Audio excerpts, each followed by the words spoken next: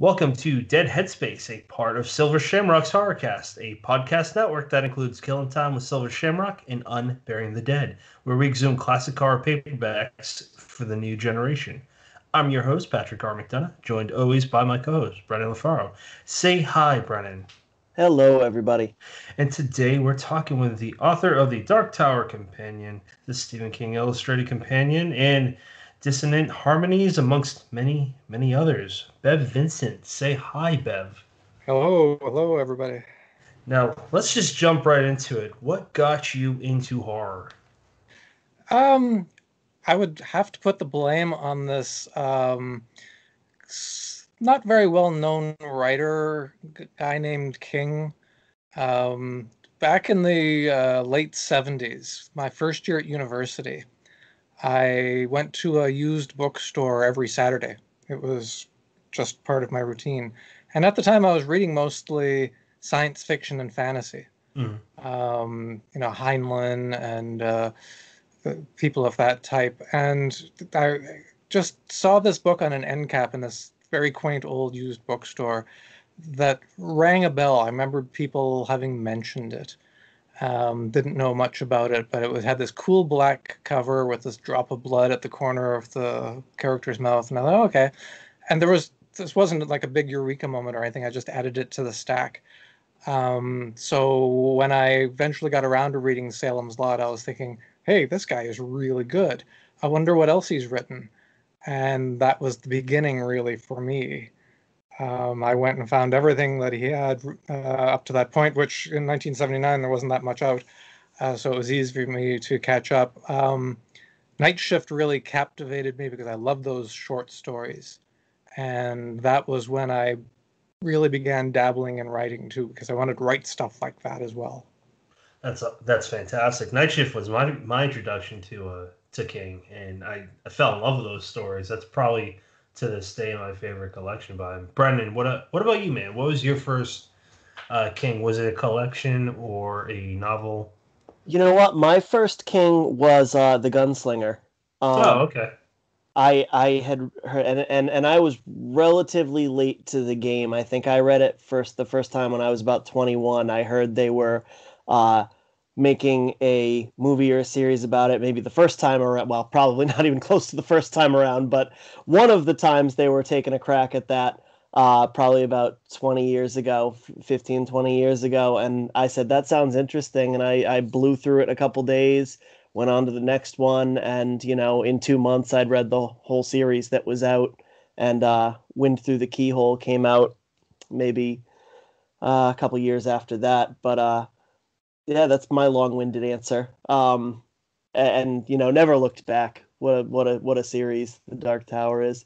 So you know, Bev, that was your let's call it your introduction to horror. What other authors did you you know because you you didn't have a ton to work through in the late 1970s what other authors once you'd kind of completed the king collection caught your attention well I, I, guess i'd have to backtrack a little bit and say that really my introduction to horror was poe um, i bought this dollar paperback when my family was on vacation when I was maybe about nine or ten. Tales of Mystery and Imagination, and uh, I read the binding off that one. I love that one too.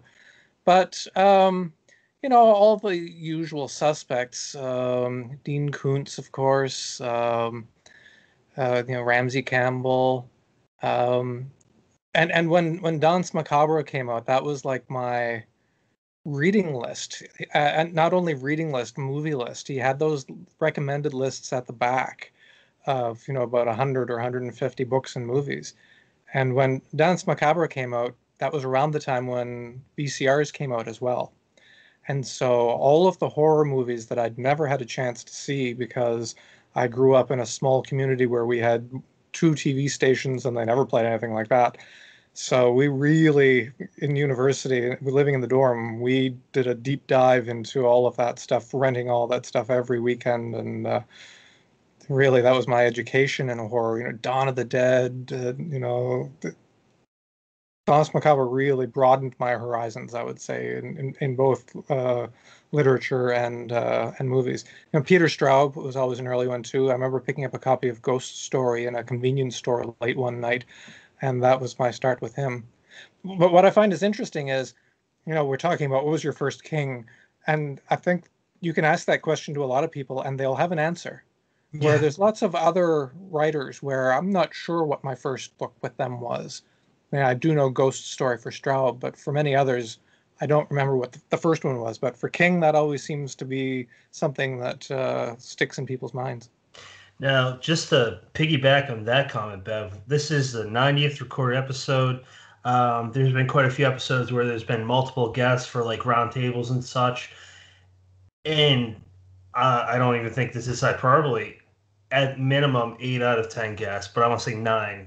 They started with King. He's influenced so many generations. And I never thought about Danse Macabre um, in this sense before, but he he hasn't changed with being the guy that recommends new uh, creators of the horror genre to people. Um, Danse Macabre, I, I really enjoyed that book too. Um, I didn't know about Jack Finney. I, I, I wasn't aware that he was the guy of uh, the Body Snatchers. I just didn't put two and two together. But yeah, he introduced me to. I think it's Time and Time Again. Time time again, or, or time after time. Yeah. Some, something like Yeah.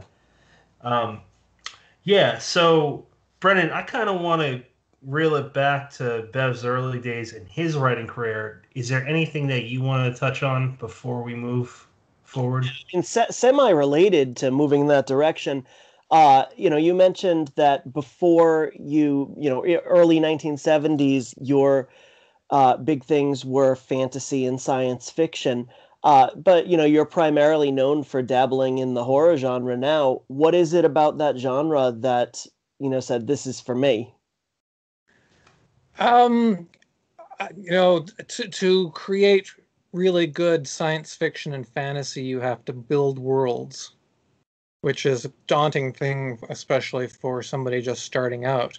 Hmm. Where horror is primarily set in the world everybody knows.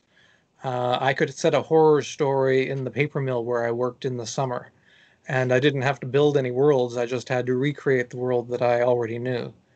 Um, and you know, over the years, I have done a little bit in the science fiction fantasy realm in terms of my writing, but I'm more grounded in uh, the familiar world, and for me, that's just easier to wrap my mind around.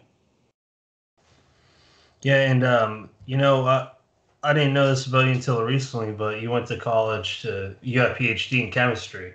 True. And looking at your bibliography and it was uh, i don't i don't know if it's out yet or not but there was a uh, novel you and brian were working on where it touches on i want to say like quantum physics and uh, black holes is that is that anywhere close to correct So the, the book that uh, Brian uh, Keene and I did together is called Dissonant Harmonies, and it's two novellas. We each wrote a separate piece for that. And Brian's has something to do with what's known as the Mandela effect. Hmm, okay And that's um, it, it's a phenomenon of false memories. And large groups of people think that they remember something that happened. And the Mandela in it is Nelson Mandela. Hmm. And there are a lot of people who believe that Nelson Mandela died in prison. It's like a collective false memory. And so that's what's behind Brian's story in that collection. oh that's interesting well why don't we talk about your story then Okay, so mine is called The Dead of Winter. So Dissonant Harmonies is a project that Brian and I have been talking about for uh, probably 14 years we, when we first uh, bandied the idea about. And it came about because we talked about the fact that we like to listen to music when we write. And we would compare notes. What types of music do you listen to? And we found, found out over the years that we have a lot of similarities, but we also have a lot of dissimilarities. And so we thought, wouldn't it be interesting if we each made a music playlist for the other person to listen to exclusively while they're working on a novella? And you know, the idea kept coming back and forth. I think originally we were going to do a short story collection, but then we decided let we'll do it just a single piece each. And so I put together my playlist for Brian, you know, about an, a CD's length, about an hour's worth of music, and he put one together for me. And when we were working on these stories, that's all we listened to. We weren't necessarily you know writing about the songs. We just wanted to see what the influence of the music on us as writers. So my story is called The Dead of Winter, and it's a, a horror novella set in the winter in Rhode Island, and it's about two brothers. It's a little bit of a prodigal son uh, reversal. So the older, more respectable brother has has left the small town and made something of himself as a police officer. The younger brother stayed behind, and he's he's a druggy goof goofball. And the older brother comes back to visit because one of his former girlfriends has gone missing, and the girl's mother has asked the older brother to come back and maybe jumpstart the investigation. And in the course of the investigation, they find some very, very strange things happening uh, underneath this small town. Uh, that, that's, uh, in a nutshell, that's sort of what the story is. Mm.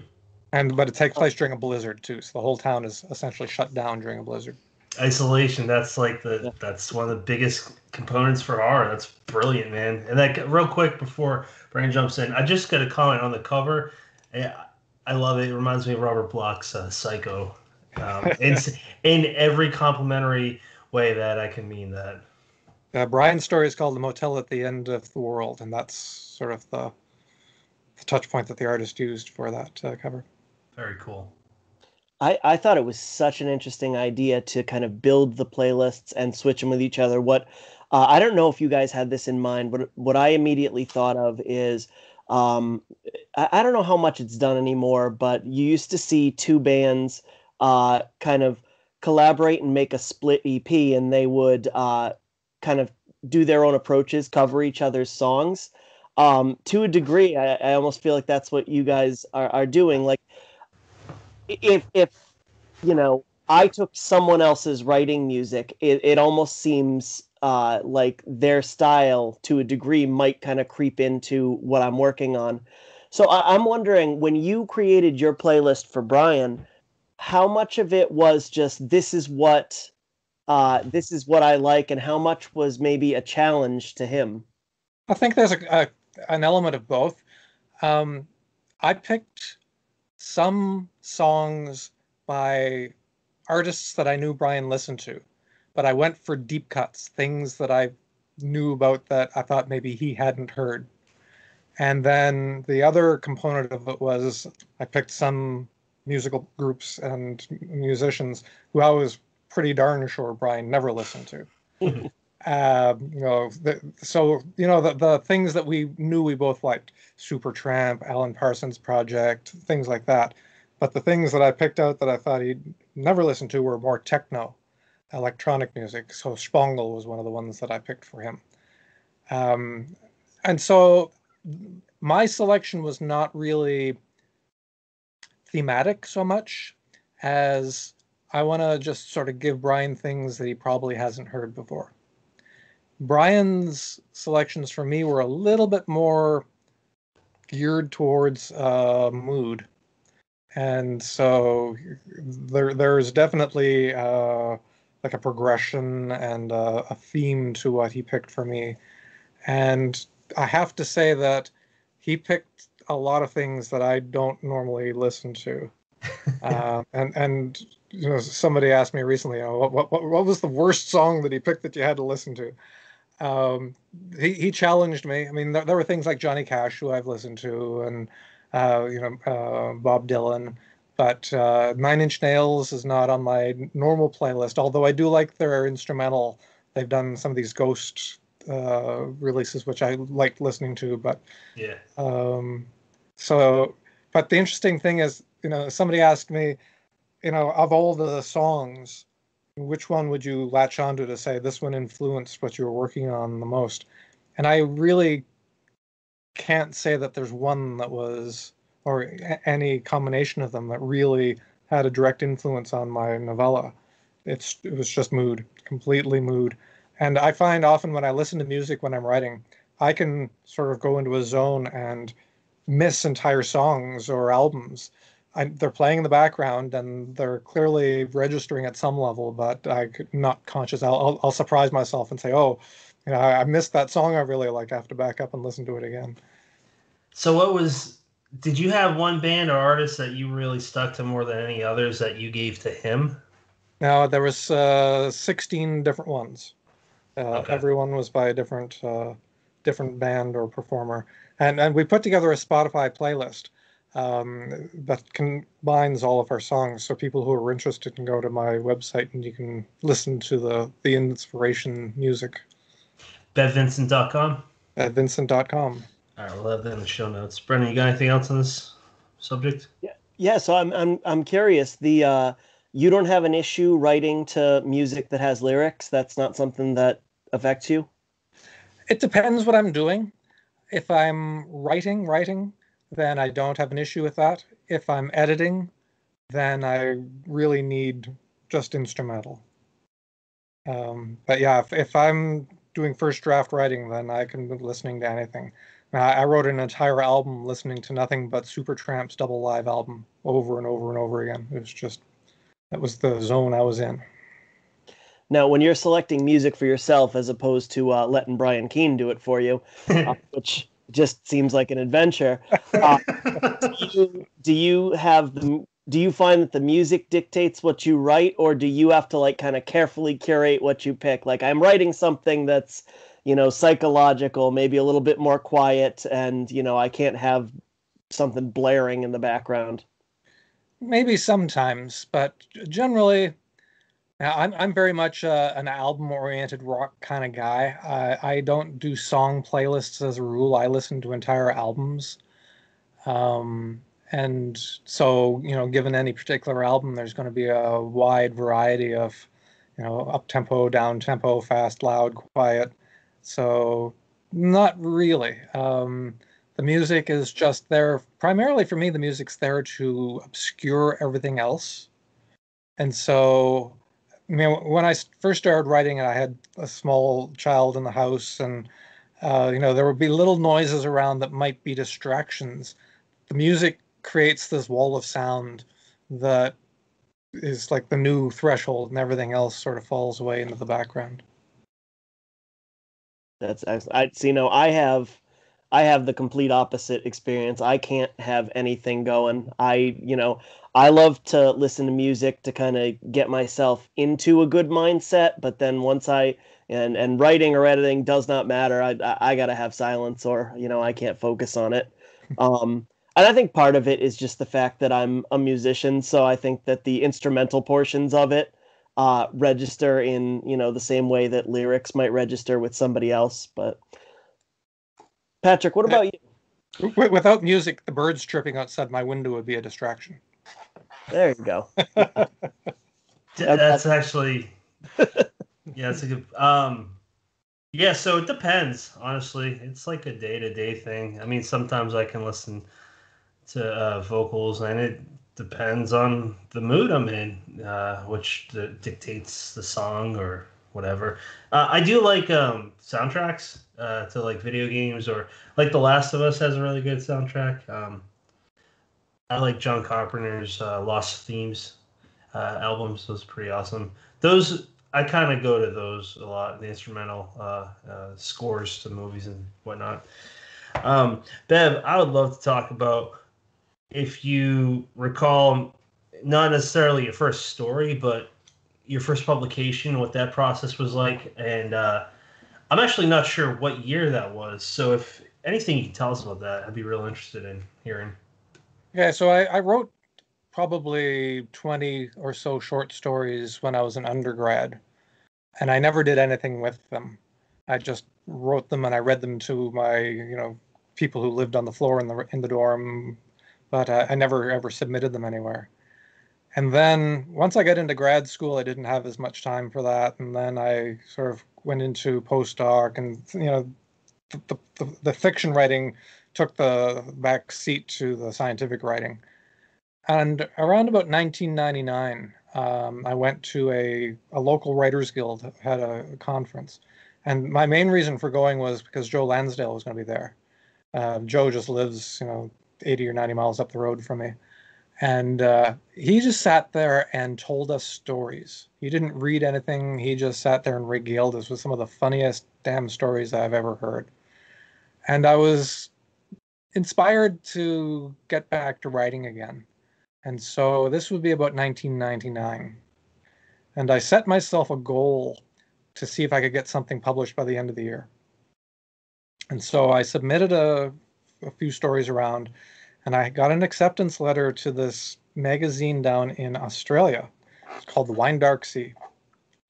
They had only published one issue of their magazine, and I was accepted for issue two. We went through all the editorial rounds, everything was fine, and then they just disappeared off the face of the planet. And issue two never came out.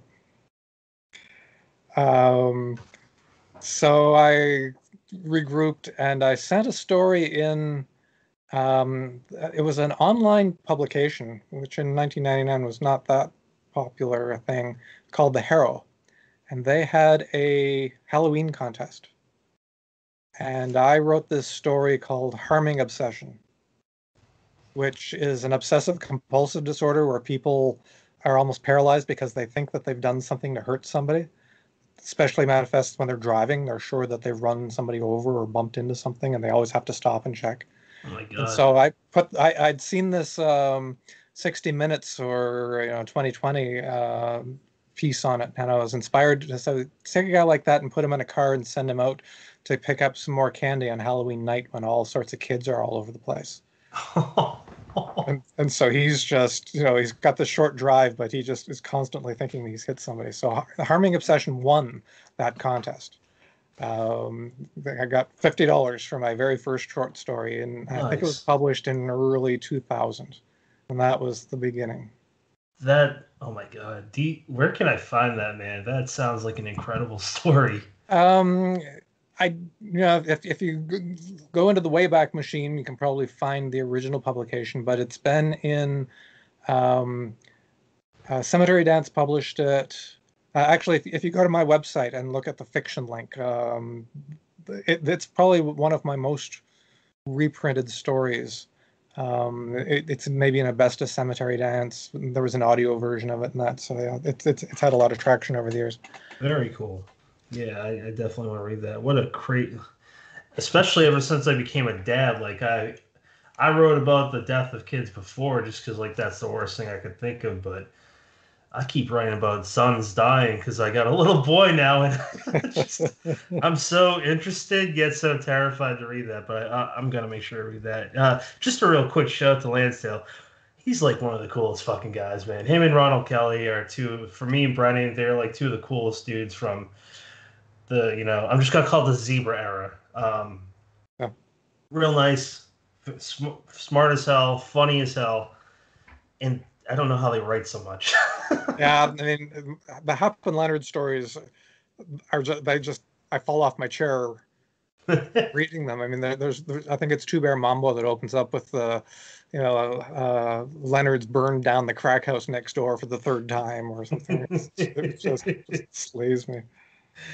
Now, after that, was there a bug that planted when you got that acceptance? Was there a bug that just ate away and said, "I got to keep doing this shit"?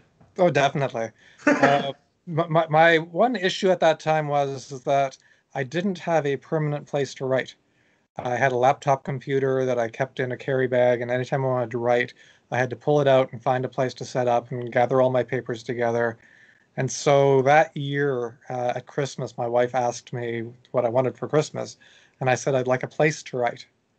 And so she got me a roll top desk, which was the perfect solution because I could be as messy as I wanted to, scatter my papers out. Uh, and at the end of the day, you pull the top down and it's this nice, you know, piece of furniture and it looks very presentable and it's not a disaster zone like my writing. Well, that was 20 years ago. My, my office now I now have an office completely, and my office is a disaster zone. the roll top doesn't roll down anymore and all that. But uh, that was really the kickstart. And then the second part was finding uh, a routine. Mm.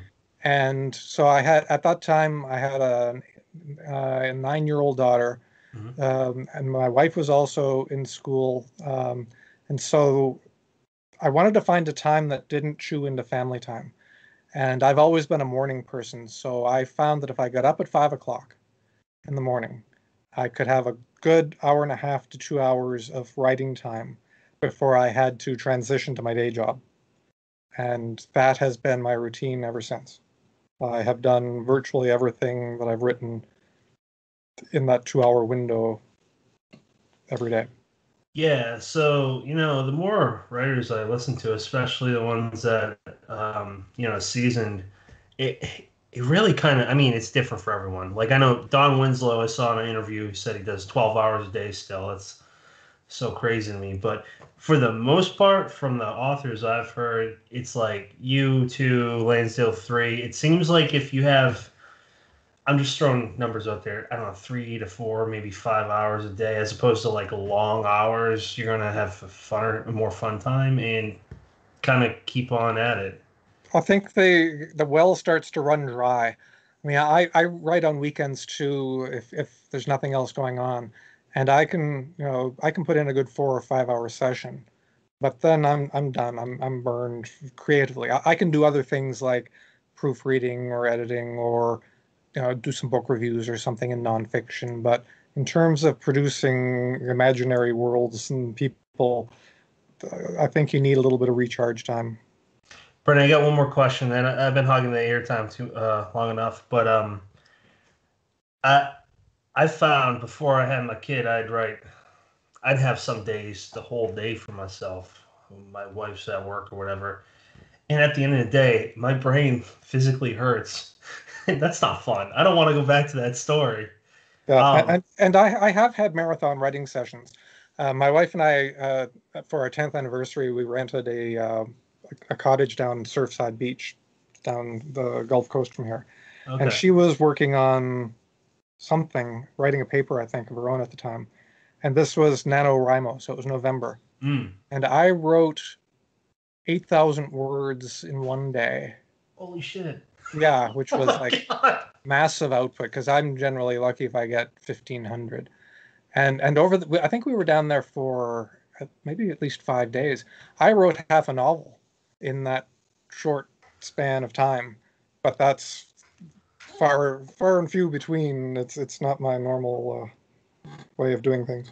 Yeah, I was listening to an interview with uh, Keenan, uh, David uh, Skal, mm-hmm. and um, they're just talking about writing a full length novel, a sixty thousand plus word in like four days or something crazy like that. I I, I don't get it.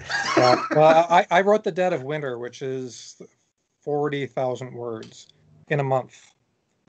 That's good, and that's, man. And that's a month of you know two hour mornings, and and I wrote it longhand. Oh, I, I, had uh, one of those uh, Moleskine notebooks, and I I wrote it longhand. And sometimes I wrote it at the kitchen table with my earpods in listening to Brian stuff.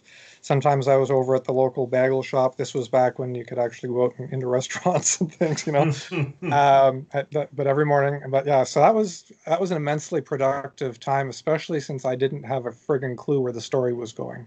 There's something about writing in a notebook. Like I write longhand um, with some stories, and there's just like there, it's a pain in the ass when you're you, there's no find a search bar or whatever but i don't know about you but there's just some satisfaction with writing in your notebook and a pen or pencil. It it just feels like a closer connection. Um how do, is that something you do often longhand as opposed to um, word processor? That was really i mean I've, I've done it occasionally when i've been somewhere where i didn't have a computer um, but that was really the first time when I just consciously decided I wasn't going to work at the computer. And ever since then, virtually every first draft of anything I've done fiction has been that way. And when I'm I, either when I'm finished a short story or, or in the case of the novella, when I was maybe a third of the way through it, I dictate it into the computer. And the, the, the dictation software that's with Microsoft Word now is actually quite good. Uh, although you have to build in a rhythm because you not only have to read the words, you have to read the punctuation and the line breaks. And so you sort of get into a rhythm. Uh, you know, open quote, say the sentence, comma, close quote, new paragraph. But it's uh, it's it's your sort of first editing pass as you're reading it in. You're hearing how things sound. Uh, and then, of course, I have to go through and correct all the transcription errors because there are certain words it always gets wrong and I think my Canadian accent bugs it sometimes. I, you know, I, I had read that that you said that what you're doing nowadays is doing by longhand and then dictating it into the computer. Um, and I, I thought the idea of you know rhythm was so interesting to that because eh, you know there's certainly when when you're reading when you're editing when you're even reading back something that you just wrote uh, and doing it out loud you get that kind of sense of it. But when you're just reading straight through not small chunks uh, you get to kind of experience what the re- the way the reader is going to experience it. So i'm kind of curious how your editing on the spot process goes with that what you've kind of learned about your own writing with that. Uh, one of the things I learned was if you're going to read something into the computer for dictation purposes, you shouldn't read it the same way that you would read it if you were reading it to an audience. You don't get dramatic because the you're not the, the computer audience isn't impressed with your prose, uh, and in fact, you can just confuse the hell out of it if you start doing all sorts of uh, you know crescendos and the, the normal dramatics you would do. Yeah. Um, reading the, a story aloud was always part of my process, but it usually came later. Um, usually after I had written a few drafts and done some editing, and then I would read it at the end to sort of smooth out places where just where things feel clunky. Uh, you know, reading a story and, and reading it on the page and hearing it are not the same thing, of course. But there are certain things that you just know if I'm stumbling over them when I'm reading them myself, the reader is probably going to have a hard time parsing exactly what I'm trying to say there too. Um, but you also pick up things like, you know, is this, oh my God, this sentence is really long. You know, I, have run out of breath and, and I, this really needs to be broken up. Or places where you've really gone overboard with description or narrative when maybe dialogue would be better served in something like that. Um, I just finished a story for um, it's actually it's a it's a gaming company, uh, and they're launching a Kickstarter, and they put out a call for stories in this futuristic. It's seven uh, said it's seven, like seventy five hundred years in the future, and so they had this whole world Bible that we had to learn to write stories in their world, and the first draft that I did was really really narrative heavy and that was sort of the, the, feedback I got not only from reading it in but from the the uh, editors was you know this this is like info dump. Uh, you really need to go back and uh, you know turn these into scenes where people are doing things rather than sitting around ruminating about the details or what's what's happening or what's going to happen. So, I mean, this this process is this something that you feel like is just working for you now, or do you you know feel so good about it that this is kind of eh, as far as the dictation software and it's being able to keep up with what you're doing this is just what you'll be doing from now on? Um not not 100% sold but i think for short stories it certainly will be. For longer things like you said, there's no uh, search and find and replace. And if you forget what color a character's eyes are, um, of course, you can always just sort of put in a placeholder, but you like to get it right the first time through. And there, there's nothing uh, like being able to just jump back 100 pages and say, oh, yeah, yeah, that guy's name was Bill, not Bob. And so for the novels, I think uh, I'll probably stick to uh, either Word or Scrivener. And I sort of every now and then I jump into Scrivener and give it a chance because it, it's really a um, a writer's platform. It has places where you can plug in PDFs of your research and photographs, and you can build storyboards. And so I like that, but I haven't really mastered it yet. Excellent. Patrick, um, I want to take us to, um, actually, I would like to take us to this book right here. Hey, wait a minute. That's a perfect perfect time to plug. Well, I'm throwing it to you. We got David it. Schow in there too. Yep. There's a lot of good names in here.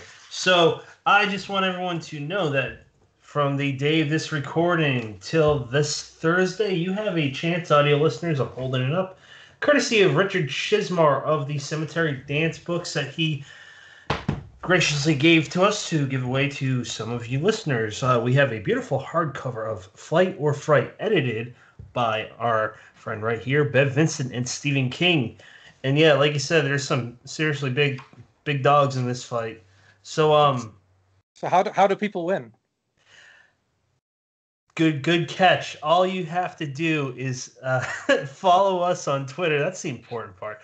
Follow us on Twitter at uh, dead underscore headspace and uh, we will announce that the day of the uh, episode's release. A simple uh, follow us, follow Bev, probably follow Rich or Cemetery Dance, and uh, re- retweet it. That's it. I've noticed if there's more than two steps, people just uh, don't give a shit. this is a good book, man. So I'm just, uh, you know, we want as many people to enter as I can. Um, Brennan, take it so, away, sir.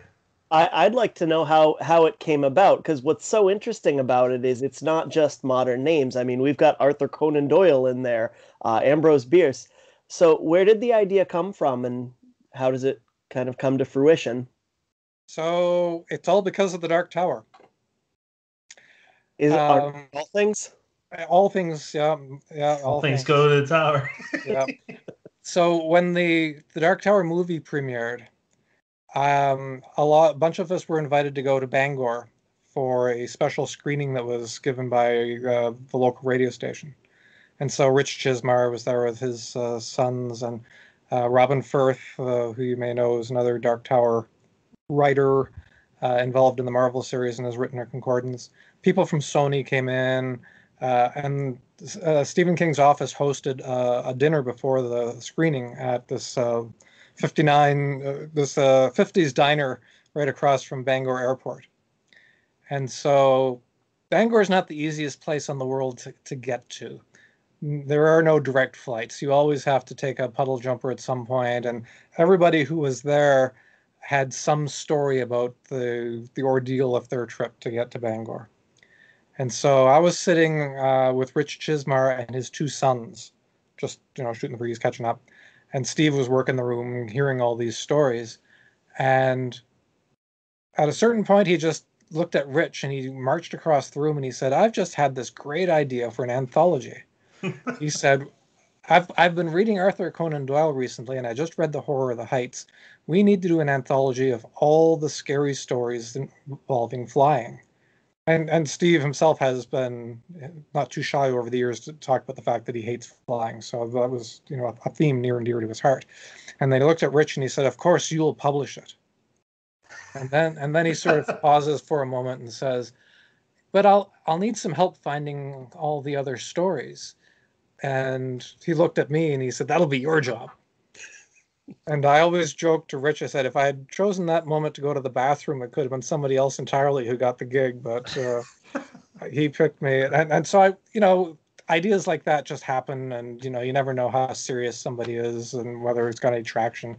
So when I got back to Texas, I took him seriously, and I started diving in and finding him stories. You know, the Richard Matheson one was, of course, the first one that came to everybody's mind and uh, we started doing a little digging around and he sent me some ideas and i sent him some ideas.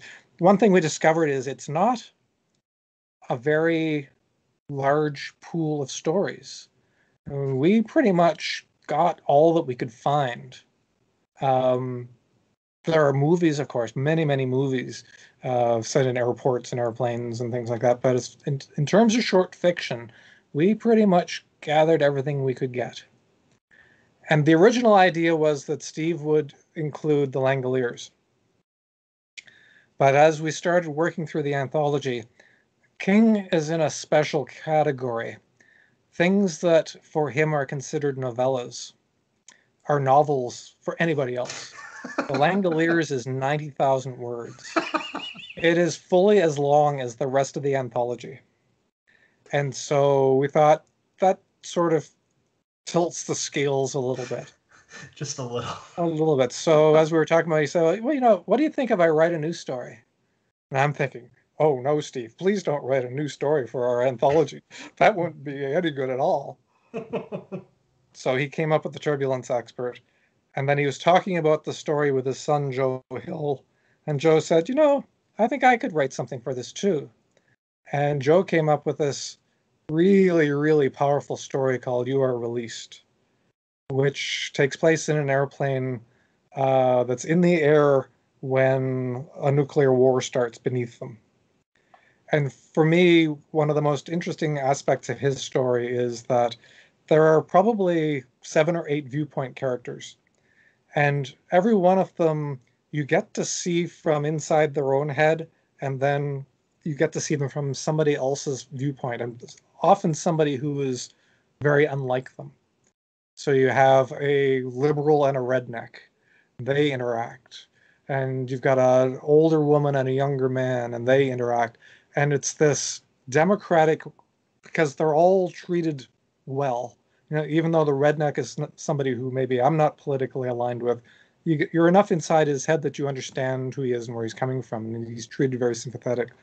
And it's it's just a marvel of storytelling uh, from that aspect. So we had those two new stories, and then everything else is uh, a reprint dating back to turn of the century, like you said, Conan Doyle, uh, Ambrose Bierce, a very very short piece, um, Ray Bradbury, um, and then some more contemporary writers uh, like, uh, like, David Schow and uh, E. Michael Lewis and, and, and some people that I'd never really heard of before, but we they just came up. Uh, you know, you search. one thing we discovered was if you Google search scary flying story, stories, what you're going to get are people who've had scary flying stories. You're not going to find short stories. And the introduction that Steve wrote for this is a scary flying story. It's uh, one of his near death experiences that he really had when he was uh, flying in a small plane that uh, had a close encounter with a much, much larger one and created some turbulence, I guess we'll say. I, I would completely echo what you said about Joe's story. I thought it was a beautiful piece. And uh, it, when I originally read this, I think uh, 2019, uh, it was one of my favorites. And then when his uh, collection Full Throttle came out, I read it again, and it, it, hit just as hard the second time. It's a it's a great piece. Uh, your piece in here, uh, Zombies on a Plane, won uh, an Ignotus Award. Am I right with that? Correct. Uh, it was nominated for it. Nominated. Okay. Yeah. tell us a little bit about that story. So, Zombies on a Plane is one of the few stories I've written that happened because of the title. And just that title popped into my head one day. It's a great title, man. It, it, yeah, and and I just I had to write this story, and so I, it was published previously um, in a charity anthology. Um, I've written a couple of quote unquote zombie stories, and the one thing that's true about all of them is that you very rarely see any zombies in them. They're in the background. They're the motivating force but there's not a lot of uh, you know people getting their arms chewed off and fighting zombies. It, it's all what happens to society because of this type of manifestation, this this this viral outbreak. Uh, you know, when when I read the story again very recently, uh, the whole thing has got COVID written all over it. Uh, you know, search slash replace zombies slash COVID, and you've got almost the same sort of a situation. Um, and so, the, you know, having picked that as a title, you have to say, well, how do I get the zombies on the plane? And so I come up with a what I thought to be a sort of a creative way of doing it, and then just dropping it into the reader's lap and letting them imagine what happens next. It, it, um, there has been some interest in um, adapting that short story into a film. Nice. And the the people who I've been talking to said naturally we have to show the zombies on the plane. So the, the story will just be the beginning of the story, and it would go on from there. So that's something that's in the works, perhaps. Th- thinking of your creative decision to get the zombies on the plane, as you put it, uh, now I'm now I'm envisioning that you know uh, COVID switch out, and it's it's perfect. um, yeah, it actually the the way you executed it at you were talking about Brian Keene earlier. Uh, he wrote a story called Shelter in Place um, that was part of uh, I believe the anthology is called New Fears, edited by Mark Morris, and it has um, a lot of the same ideas, despite the fact that it's not a zombie story. The two kind of uh, they reminded me a little bit of each other. Um, and yeah, cr- creative and just an interesting uh, direction, let's say, without going spoiler territory. Um, just I forgot to mention this. It applies way earlier when Bev, you were talking how you saw Dawn of the Dead, uh, George Romero's original Dawn of the Dead. Um, and then we're talking about zombies again. Uh, audio listeners, I'm holding my coffee mug. so I had a. You never know what the hell anything's going to turn into. So I thought I better come up with an original theme and commission that and commission the artwork for the logo. So I talked to my buddy Todd Keisling, um, and he, I, I just told him my ideas. And long story short, he based it off of the zombies from Dawn of the Dead. And uh, I think he did a good job, man. I mean, I just a quick, I just like shouting out Todd because he's an excellent author. Um, I don't know if you've read Devil's Creek, but it's, it did something to religion that I never, ever, ever could have imagined. It, it was like Lovecraft meets Southern horror meets, uh, I don't even know what else. But yeah, that's just my quick plug to Todd Keisling because it applied. So, uh, so, so, so Dawn, Dawn is the one in the the shopping mall, right? Yep. Yeah. So the thing that I remember most vividly about watching that for the first time on a VH system is when the guy, when the zombie gets his top of his head cut off by Yes. the helicopter rotor.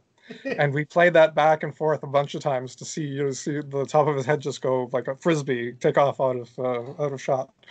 it's just such a cool uh it, it's such a cool movie and i think it was uh was it mark steensland that was there no that's oh wait no that was day of the dead uh Yeah.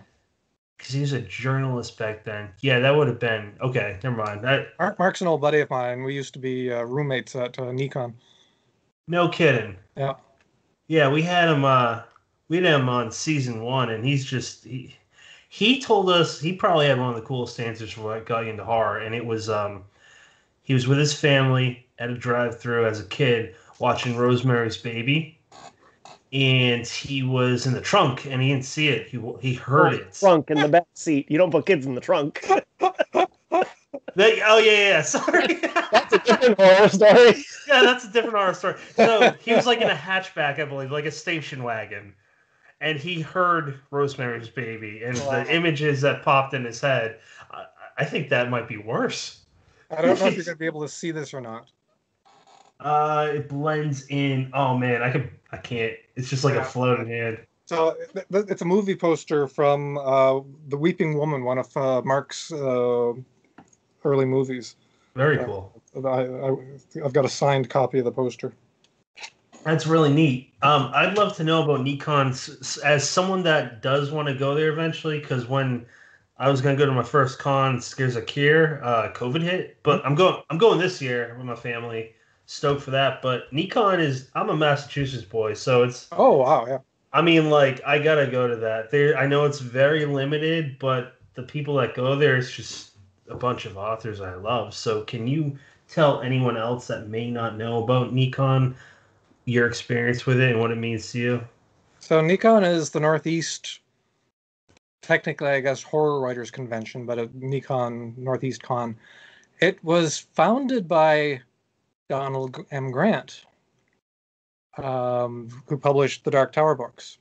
Um, after a World Fantasy Convention that Steve King and some other people were at, um, Bob Booth, and they decided the Grant and Booth decided that they wanted to create a, a writers convention in Rhode Island, and for the first many many years of its existence, it was held at Roger Williams University in in, in Rhode Island, and it's different from just about every other conference I've ever been to in a number of ways. First of all, it's got this core group of people who just keep going back year after year after year.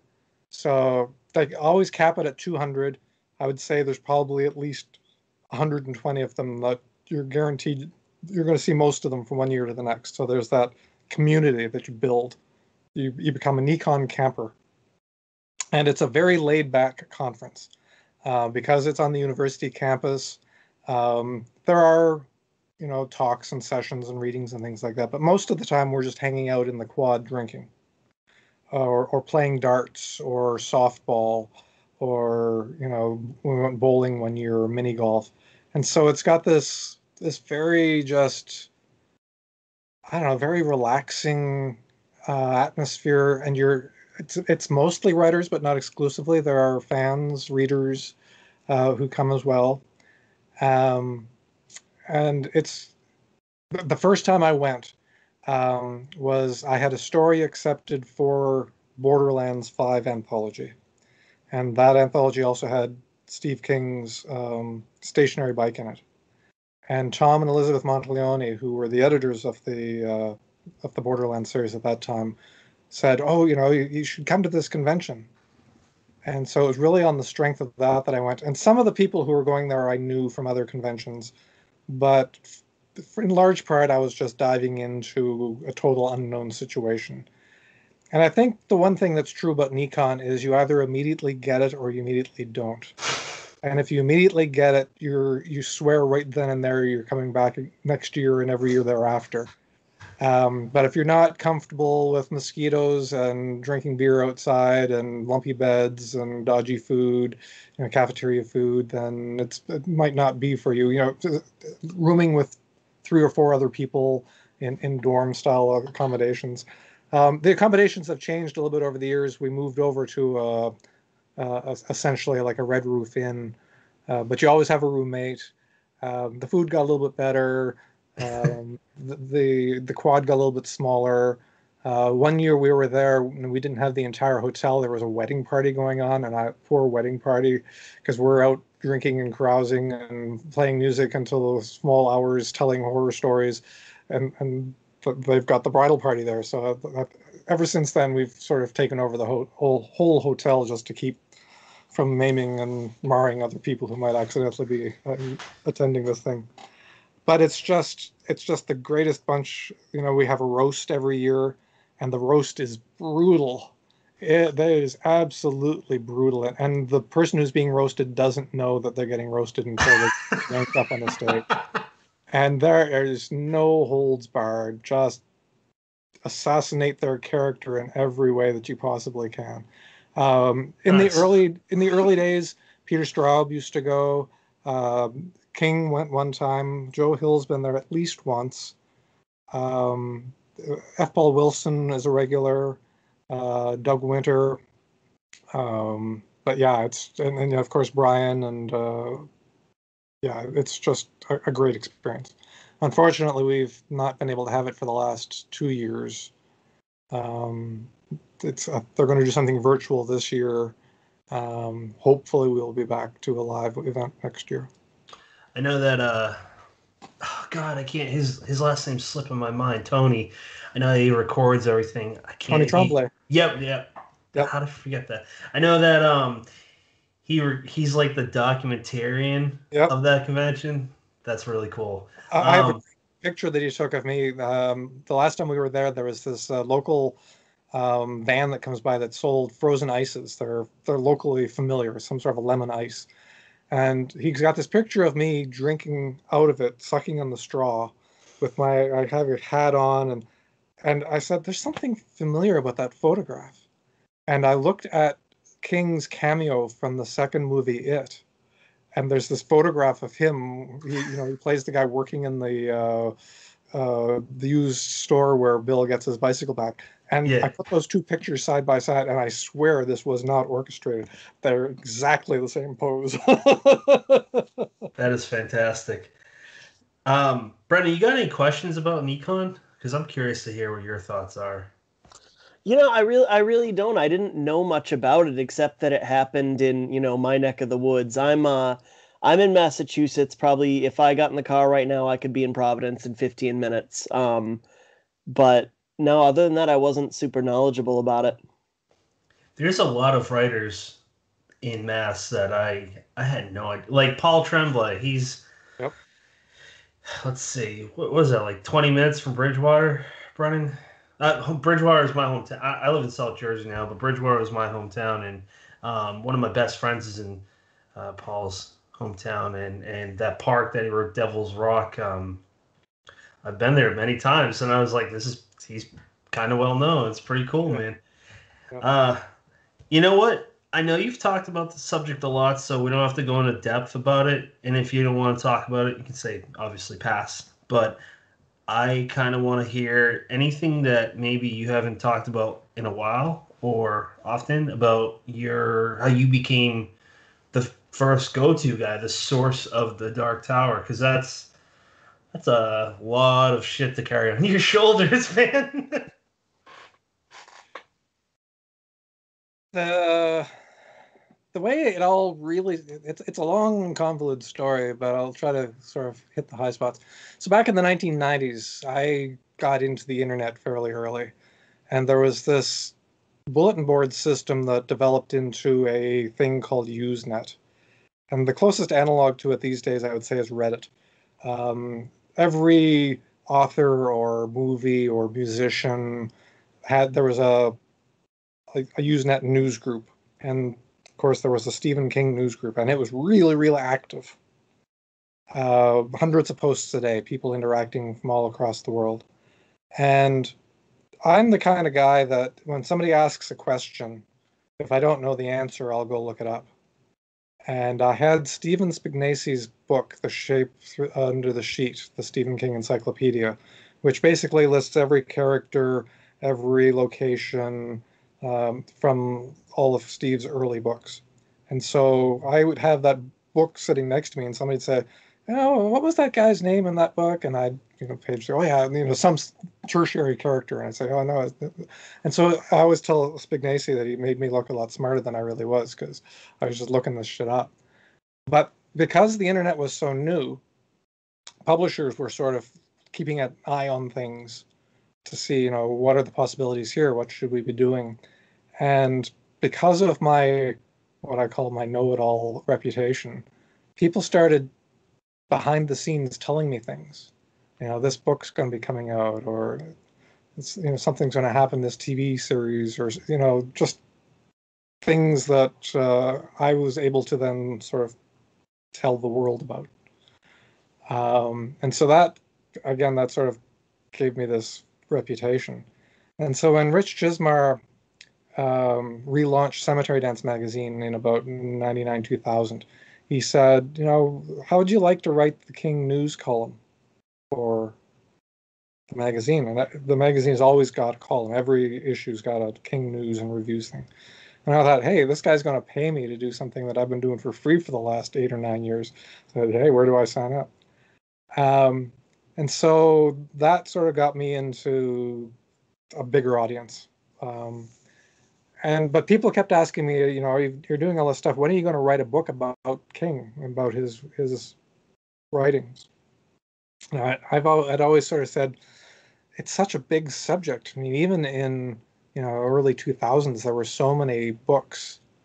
Um, you know, a friend of mine uh, had had written a book about Peter Straub's, uh, called At the Foot of the Story Tree, and it uh, I'm going to blank on his name, Bill. Yeah, I'm going to blank on it. Um, and, but he was able to cover Straub's entire output up to that point. And I thought do the same thing for King, even at that point, you're talking like a, a not not even a PhD thesis. It would be like a, a life's work. And I thought, yeah, I, just, I just can't see doing it. But when I found out that he was going to write the last three books in the Dark Tower series back to back, I thought, here's a series of books, just seven volumes. But he started writing the first one when he was, before he started writing Carrie, even. And he's written different installments throughout his writing career to this point. And the series has all of these connections to the rest of the Stephen King universe. Uh, here's something that is manageable. A person could write about the Dark Tower series and hopefully say something meaningful not only about the series but about King's larger uh, creative universe. And so this was, you know, the, the books were, you know, years away from being published even. Um, so I pitched the idea uh, to a publisher. Um, I got King's permission. I think even before I did that, I said, you know, if you hate this idea, just say so, and you know, move on to other things. But having the cemetery dance columns as um, examples to show to an editor uh, in New York to say, you know, this is this is how I write. Um, they were a really good foot in the door. So everything that I'd done up to that point really established the foundation for me writing this book. And then the the, the daring, audacious thing that I did was I uh, sent a fax to King's office. This was back in the days. We, we, we had email, but I sent a fax saying, you know, I'd, what would be really cool is if I could have this book done shortly after the final book in the series comes out. So it'll be like right there for people. And I said, you know, so in my wildest dreams, the FedEx truck would pull up in front of my house and deliver the manuscripts to the last three books so I could start working on it and have it ready um, at, the, at the time that The Dark Tower 7 comes out. And that happened.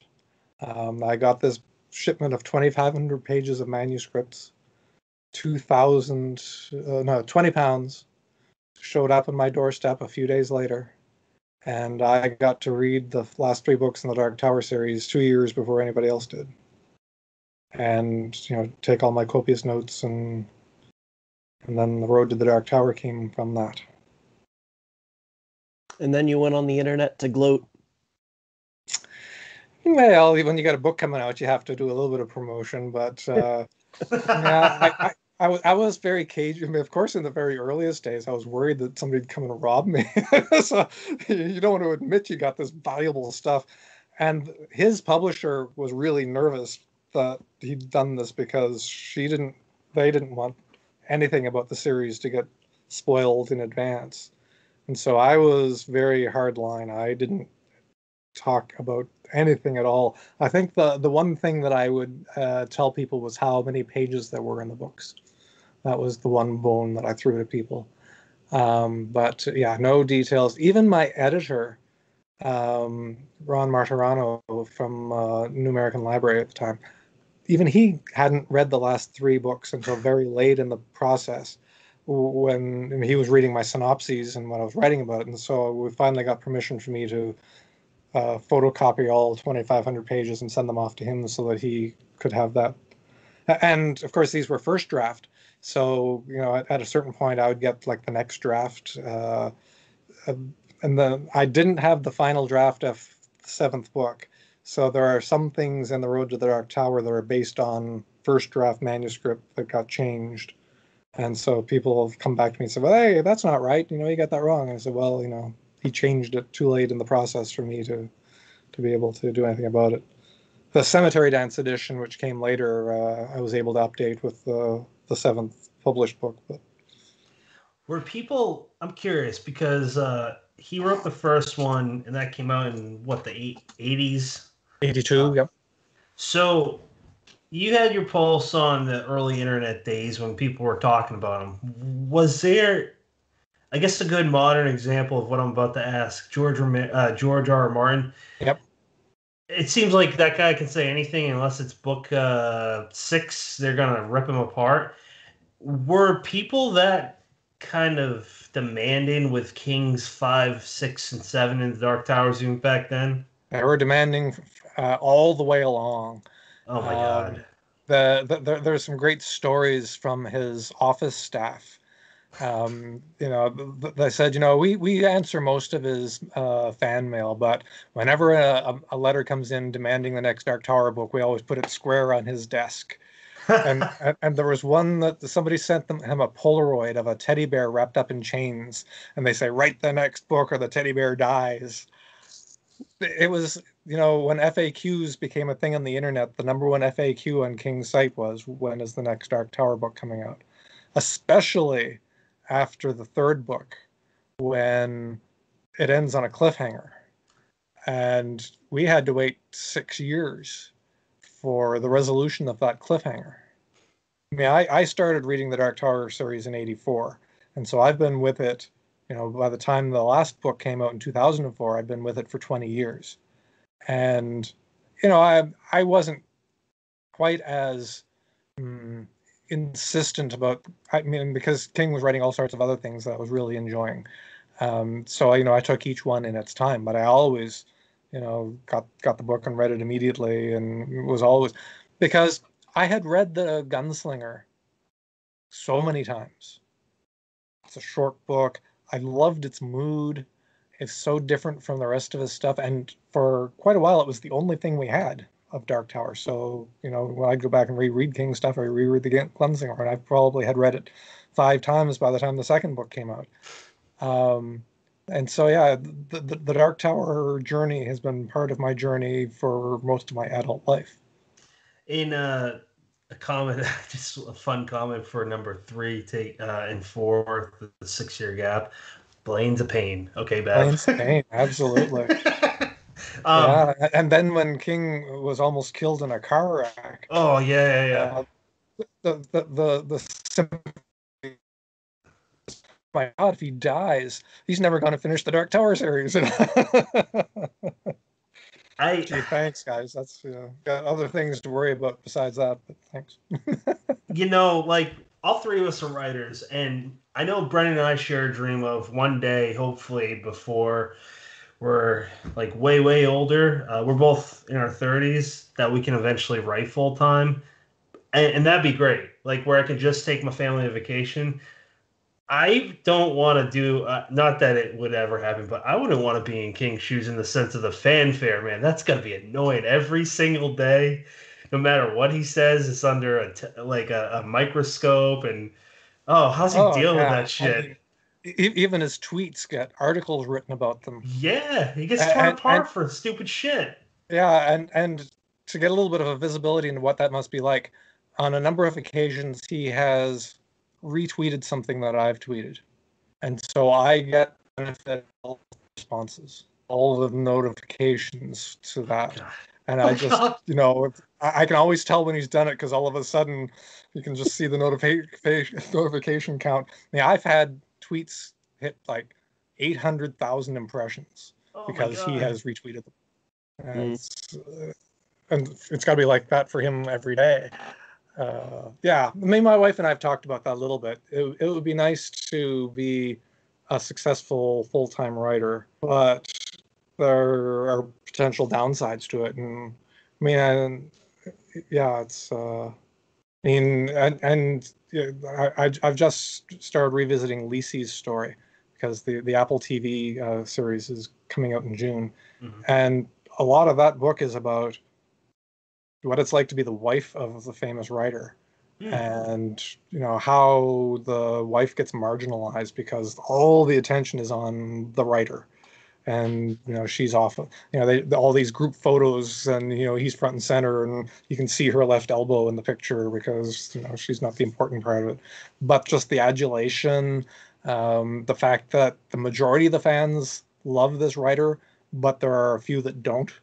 and those few that don't are really problematic. Um, and that's been an experience in King's world too. You know, there's, there's, this guy who's convinced that he he was actually the person who killed John Lennon. Um, and he shows up in Bangor every now and then with this van with all of his tracts painted on the side of it, trying to spread the gospel of it wasn't Chapman, it was King who actually did it. And yeah, and he, they've had people break into the house and that's yeah. crazy. You know, so that's why when I had the Dark Tower manuscripts, I was thinking, yeah, nobody's gonna know about that because I don't want any of the crazies here. oh, hell no. Yeah, without without Tabitha saving Carrie's story, uh, the manuscript of Carrie. Yep. Eh, come on, I mean, he doesn't get where he is today without his wife. And I've read from him, um, I forget when, it was a few years ago that one thing that he attributes to all his success is that his wife, his family, they've always been there for him, and I think that's important too. Like him, Keene, Chizmar, Joe Lansdale, they all say the same thing. You know, like family. That's like the most important yeah. thing. Yeah, my wife doesn't read a lot of what I write, but she's my number one fan. Same here. Uh, yeah. She has always made a lot of room for me to write. Um, I'm getting. You guys are in your 30s, so I, am I'm, I'm staring 60 in the mirror in a in a five weeks, um, thinking about the possibility of uh, you know retirement, having full time writing ability, maybe because one of my goals has always been to write novels, mm. and and I've written a number, but I've never really had the the traction to to do it much with them Um, my story in Dissonant Harmonies is the longest piece of fiction that I've ever published um, at 40,000 words, but I've got novels. Um, they're not in the trunk, they're uh, on the desk, I guess I would say. There, there are things that I think have real possibilities, but I just need to have the time to get them out there because, you know, I, I talk about the two hours of writing every morning. Um, the reality is that it's two hours of writing business. And some days the writing business is um, doing submissions, um, doing Yeah. research, um, doing interviews. Um, and so having a little bit more time every day when you can sort of have time to do the business um, and it's not this it, it doesn't take away the writing time it's just you've got extra time. Or you, or you could just go off and read or watch a movie or something like that. But uh, two hours or three hours or four hours whatever it expands into is always completely protected then.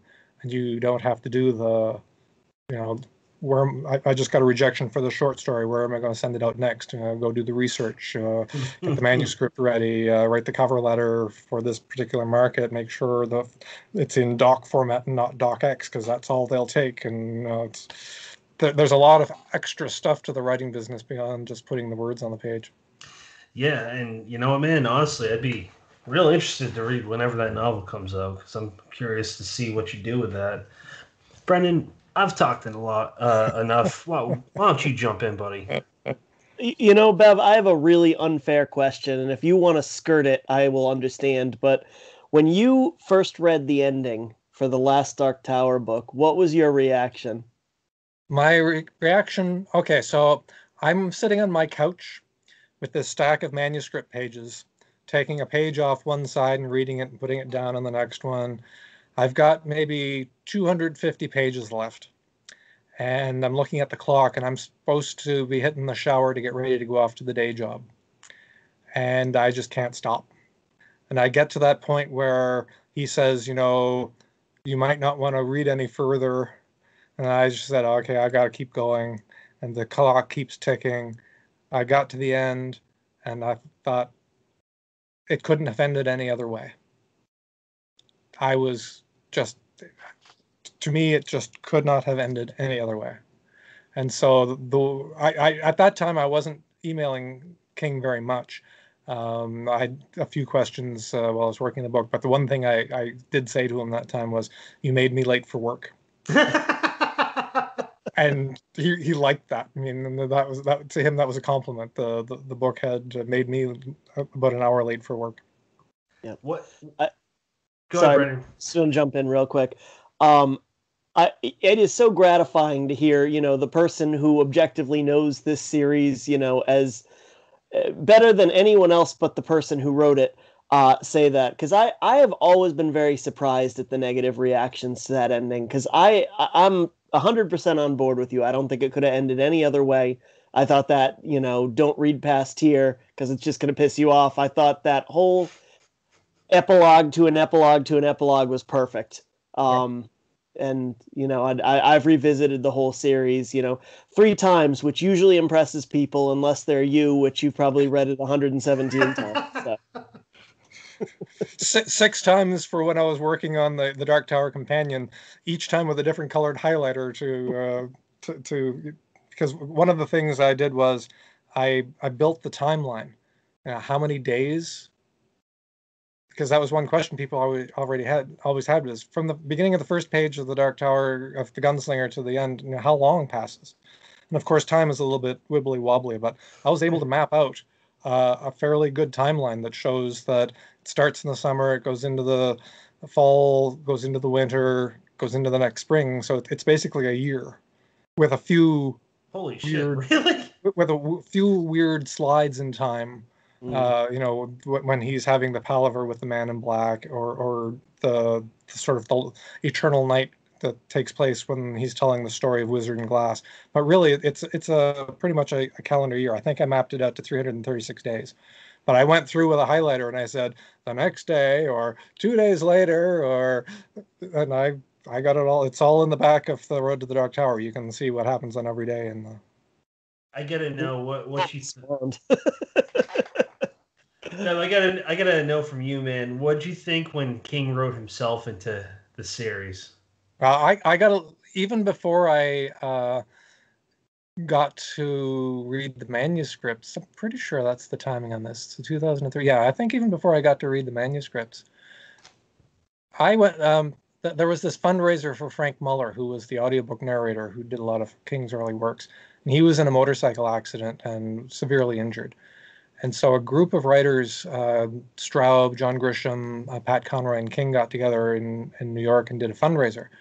And I went up to that and I had uh, an idea that I pitched to them about a way to make some more money, which worked out pretty well. And so this uh, FedEx envelope showed up at my door one day, and I opened it up, and it was a just a little yellow writing tablet, not even one of the big ones, just like one of the little, I don't know if it's like five by three or whatever, and it was just filled with handwritten pages, which was that scene, Mm. which Steve wrote while he was on the airplane going to visit Frank Muller. And so he sent that handwritten manuscript to me as a thank you for working on the, the fundraiser. Wow. And I had, at that point, I hadn't read uh, even Wolves of the Calla. Um, but I had that scene where Steve appears in the book. And I, I, I didn't have any issues with it. Um, I thought it was an interesting concept because it I mean, he- he doesn't like the term metafiction, but really it's the sort of the metafictional aspect of the series where the creator is an influence in the creation. Yeah. Um, and, and, you know, it all boils down to, you know, if, if Steve had been hit by that car and died, what would have happened to Roland? And I, I'm sure that had to be going through his mind, and I'm sure people were making him think of it after the accident. And so that it all seemed very organic to me. That's awesome. That's pretty awesome answer, man. Um, you know and if you want another controversial opinion, I like the damn Dark Tower movie. I don't know if we can go on after that. No, I'm just kidding. I'm only kidding. I'm just gonna throw it out there. Number two is my favorite. Um, drawing of the three. I, I don't know. That's all I gotta say about that because it's just it's so different it is so different. and it's it, it's just so perfect. And there's so many scenes that I can pick up that I'm like, that's my favorite. That's my favorite. um, I wow that that comment threw me off. I had one more question. what was it? Damn it, Pat. Yourself. It's good. Uh, see, I, I had an advantage in that I had interviewed Ron Howard and Akiva Goldsman when I was working on the Dark Tower Companion. And I was really surprised. They laid out their entire vision for me of what they had in mind. They were going to do this series of movies with interstitial TV series that the epic stuff would be in the movies and the sort of small person, the character driven things like Wizard and Glass perhaps were going to be like limited miniseries in between Oh wow. and they they told me the whole big picture and and this was while they were still potentially working on it um, and so i had a couple of years at least to sit with their idea of how they were going to reimagine the series.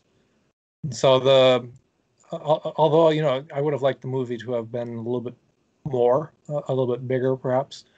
Um, and you know, we sort of watched in dismay as you know various um, movie companies dropped out or they slashed the budget and they you know tried to reduce it. But i enjoyed the hell out of the movie. I really did. Oh, it's awesome, man. It really is. Like you like people like what they like. You know. Yeah. Um, I like a lot of unpopular things, but I, don't know. Whatever. Teach each their own. Ron Howard. He, he see is he as nice in person as he seems on screen, man? i tell you uh, i was sitting at my desk at work when i got a call from my wife and she said ron howard's going to call you because we had set up the interview for a couple of days later yeah. and he had some time. He was in London filming Rush, the the race car movie, Mhm. and they were driving back from filming at the end of the day. and it was a long drive. So he's in the back of the limo, and he had this window, and so I was really fortunate in that I had my recording gadget for the telephone with me, which I didn't always have, and I had my notes, or I could get my hands on my notes for what I had to talk to him about, and so I had like almost no warning. Here he is on the phone, and we spent 45 minutes, an hour maybe on the phone. Yeah, he's absolutely as, as nice as he seems to be. And Akiva Goldsman, too. I mean, we had a great conversation, uh, even getting around to talking about Fringe, which was uh, still on the air at the time, and how much I had enjoyed that series. That's pretty cool, man. Did um, I'm trying to think. Did he? Did Ron Howard do anything with uh, this TV miniseries called? It's based off of Walter Isaacson's uh, one of his biographies on Einstein. I'm trying to think. I'm, I'm looking it up right now. I'm pretty sure he directed that. Uh, any ring any yeah, bells? Yeah, yeah, yeah, yeah. That, yeah, I saw that uh, that Einstein series. Yeah, yeah. I'm pretty sure he directed that. I, yeah, I, I think so. I love that. And Geoffrey Geoffrey Rush is he's a fantastic author. But um, I don't know. I just like talking about Walter Isaacson, and that uh, that applied. He's my favorite biographer, man. He's fantastic. Okay, I remember my question. Um, I posed this to Richard Chizmar when he was on, um, and I'll ask you the same thing. Stephen King. I don't think it's really an opinion at this point. He's without a doubt the most successful author ever in history, and I don't know if it's ever going to be repeated. I don't see how it could be. You're in a very, very rare minority uh, of people in his circle. Now, I'm not saying like you're, you know, I don't know what that means exactly with you and Richard and whoever else, but what's that feel like? Because it's going to be a little unreal, I would think, even at this point. It's it's a lot unreal, uh, and and Rich and I have been friends for over 20 years, and we sometimes pinch each other uh, just to say, you know, can you believe that this has happened to us? Yeah. Um, I mean, we we both grew up in the, at least in the '80s, um, reading King and you know just absolutely admiring his work, and never ever imagining that we would get to the point where you could just sort of shoot him an email and say, "Hey, did you catch that new TV show last night? Or what do you think about this? Or uh, what are you reading? Or um, and then you know for for Rich to publish him um, you know starting with a short story in cemetery dance but then later doing you know limited editions and then to to collaborate with him on the gwendy books. And and you know for me to uh, you know to get his approval to do some of the critical stuff i've done and then to do flight or fright yeah it's um you you could never plan no. that trajectory. Yeah. Um, and it's it's uh, sometimes it's a little bit hard to. I mean, I, I can sort of go back and trace the various stepping stones along the way, the, the interesting, chaotic, uh, random things that happened that put this all together. But uh, yeah, it's very surreal. I don't even know what to say, man, because he got me back into as an adult, he got me back into horror. Well, my wife got me back into reading, and he got me back into horror. And I, he's he's influenced so much. I mean, that's really all I could say. I, don't know what else to say. I don't know where I'm going with this, but that's well, so cool. and, and and it's not just horror. I mean, oh yeah, I, definitely. I've not. written I've written essays, uh, one fairly recently, about him as a crime writer. Yep. Because he's got a really solid uh, chunk of either straight crime or crime that crosses the the, the breach into the, the, the fantastic as well. Um, I've just finished reading Billy Summers, which is his uh, next book, which is straight crime. There's not a yeah, I'm, I'm going to say there's not a there's not a hint of supernatural. There are some allusions to the Stephen King universe uh, as he's want to do, but but it's really it's a it's a hitman story, uh, and uh, you know, in his previous book later is the other side of the spectrum. It's a supernatural crime story. Um, and so, I mean, he's got the Mercedes books and The Outsider. And when he and I are uh, swapping recommendations, um, most frequently it's for crime series. Hmm. Um, when we find something that's like the, the the new one on HBO, uh, the the Mare of Easttown. Um, that, that's uh, uh, Kate Winslet. Um, that's something that's right in our wheelhouse, you know. And, and I don't know if, if he's started it yet or not, but I've certainly recommended it to him. Um, and and we love the Scandinavian crime series. Um, and we what was the oh there's a new one just out. Um, it's on BritBox. It's called Grace. Uh, John Simm, uh, who was in uh, Life on Mars, and uh, he, he played the Master on Doctor Who. Um, he, he's one of our favorites, and he's he's back in this uh, series based on a British crime series um, that I had Nice. heard about. So I told him about it, and I'd forgotten about it. And when the first episode came out, he told me about it, and so it's a lot of crime. We we, we we're involved in a lot of crime. That's really cool. Yeah, Brennan and my wife, uh, they they they say they don't like horror, but they like uh, they like true crime stuff. And uh, a show a show that we really loved. I love season one more than two. Was Mindhunter on Netflix. oh yeah, That first season though, man, it's so freaking killer. And uh, oh god, what's like the main killer's name? It's slipping my mind right now. yeah. TK. What's that? No, not no, no, no, no. The main killer, uh, Ed, um, the campus. Good game.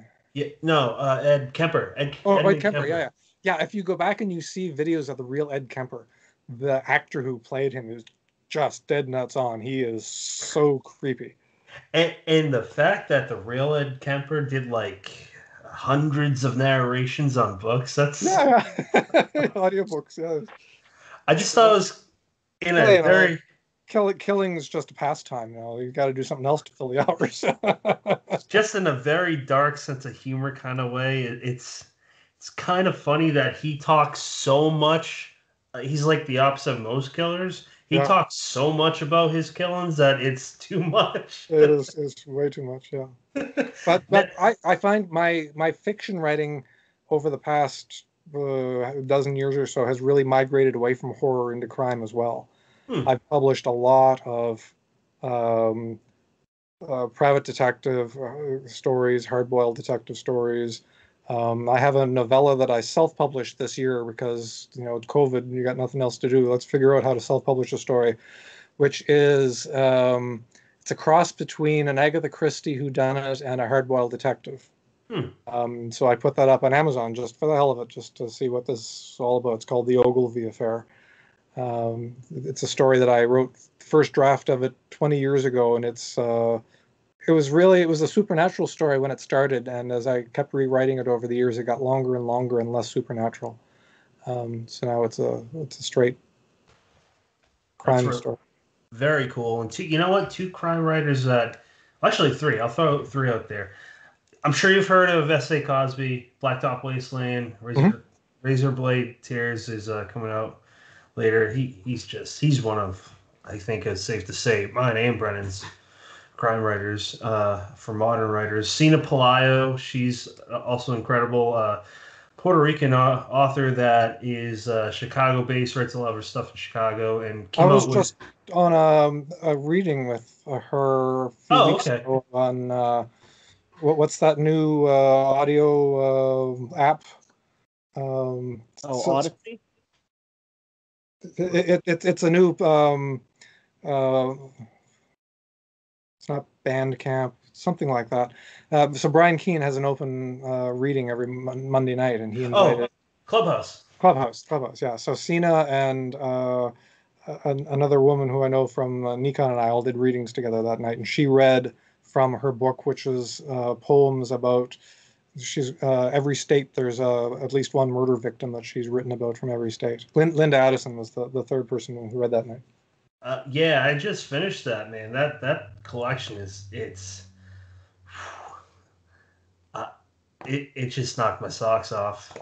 Um, I at one point there's this one about uh, a poem in Dorchester, Massachusetts, and, and I reached out to her. I was like, "So my grandfather's from there, and on top of that, I used to work in that city, and uh, I don't know, man. It, my experience is that there was a group of like 12 year old Irish kids come walking past me. I didn't think they were going to say anything. And like in my head, you know when you see something or hear something, and then after you're replaying it, you're like, that couldn't have happened. That was a little too weird.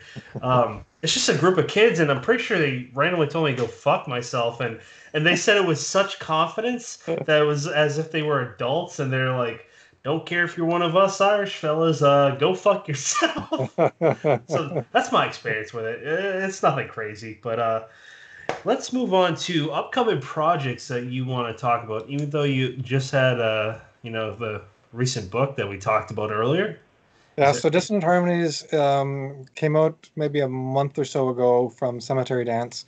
Um, there's a hardcover edition that they sold originally. Uh, it's only to their uh, Cemetery Dance Collectors Club, and so that one is still at the printer, but the, the paperback just sort of dropped um, like I said a month ago. So that that one's out in the world. Um, I've got a. This has actually been a pretty good year for me for short story acceptances. Nice. Uh, I've got a whole rash of them coming out in the next uh, six to twelve months. Um, almost all of them, I would say, are crime stories, but there might be a yeah. There's a couple of horror stories tossed in there for good measure too. Uh, and then this one science fiction story for the this gaming company. I think that's going to come out next month. That's really cool, man.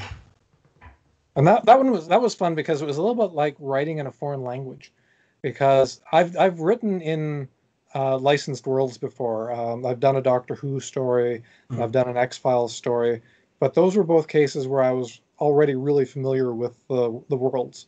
And this uh, um, Renegade uh, Legions uh, anthology, man, we had to learn a whole new lingo, a whole new government dynamic, aliens, the whole, whole nine yards.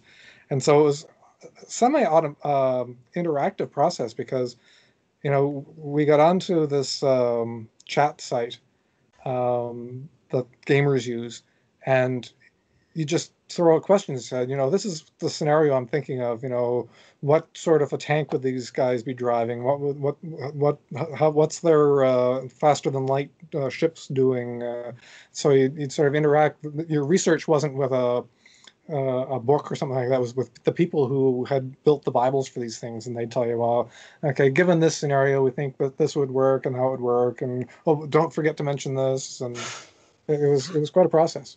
That's yeah, you have very tight parameters. Good for you, man. That that sounds very difficult. it, it, was. I mean, some some of the people who pitched the, the stories, when it got down to writing, they just said, "I just can't figure this out. I don't even know where to start." and and I I had that feeling for a while too, until I got to the point where I said, "I'm just going to write this thing without worrying too much about the rules." And then we'll fix it in post, like they say. You know. Yeah, that's probably a good approach. Oh, the third crime writer I meant to mention is Gabino Iglesias. Oh, Gabino, uh, he, he published one of my short stories. Um, we did this Halldark Holidays uh, anthology oh, that happened like in the course of about three weeks. Yeah. Uh, and I, I sent him a story for that, and so I have a story in there. And I know Gabino from um, Killer Con. Okay which uh, oh. White uh, used to hold in uh, Las Vegas, and then he moved to Austin. So it's been in Austin, just in in Texas terms, it's just up the road a spell from me. It's only a three hour drive. Uh, so I've gone to Killer Con the last couple of times, mostly to uh, urge Brian Keene to finish his uh, his story for Dissonant Harmonies. Who is more productive, Stephen King or Gabino Iglesias? Yeah. You don't have to. You don't have to really answer that because, like, Gabino, I don't know how he sleeps, when he sleeps. He has really just sort of blossomed into my awareness in the last year or so. But now that you're aware of him, he's everywhere. Mm. In such a beautiful way, unless you're one of those assholes that he talks about. uh, you know, what, man, I'd love to know what are you currently reading? What am I currently reading?